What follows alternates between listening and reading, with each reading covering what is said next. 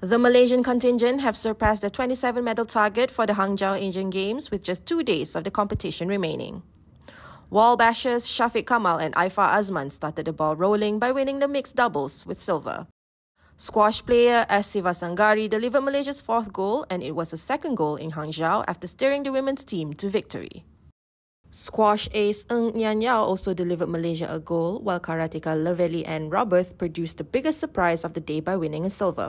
Compound archers Juwaidi Mazuki, Alang Ariff Aqil Ghaz, and Syafiq Mat Ariffin then delivered a bronze medal in the men's team event. To date, Malaysia have now collected 5 gold, 6 silver, and 17 bronze medals for a total of 28 medals just two days before the event comes to an end.